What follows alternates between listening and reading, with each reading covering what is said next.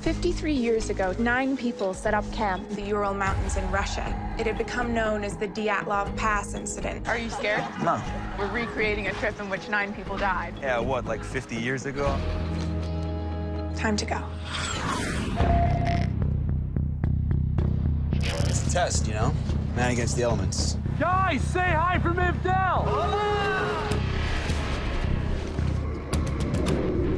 Look at this! What is it?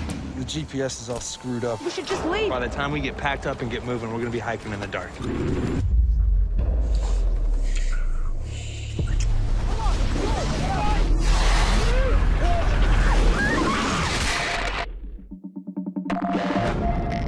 You gotta reset it now.